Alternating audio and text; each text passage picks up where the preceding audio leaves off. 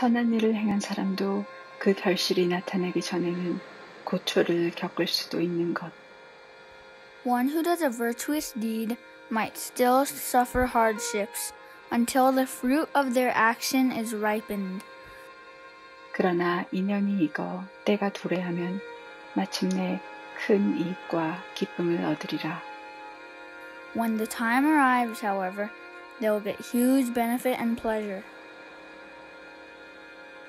악의 씨앗을 심은 자라도 악행의 열매가 채 익기 전에는 즐거움을 누릴 수 있다. One who plants a seed of non virtue could bask in joy until the fruit of their action is ripened. 그러나 때가 오면 그 과보 피할 길이 없다. When the time arrives, however, they won't be able to escape from the consequence of their action.